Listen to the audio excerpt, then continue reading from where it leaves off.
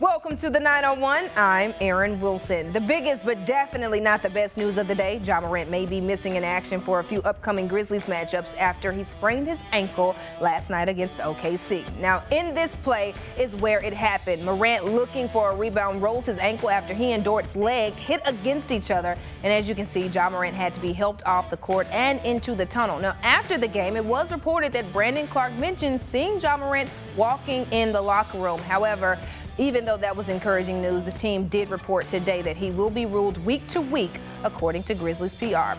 But what is absolutely encouraging is the Tigers on the gridiron. Well, they tied up some loose ends tonight with a big win against UNA. All three phases played well, and after the matchup, multiple players expressed how that win brought some confidence into the locker room after a 59-0 win over the UNA Lions in their last and final regular season home game. Now they turn their focus to SMU in Dallas.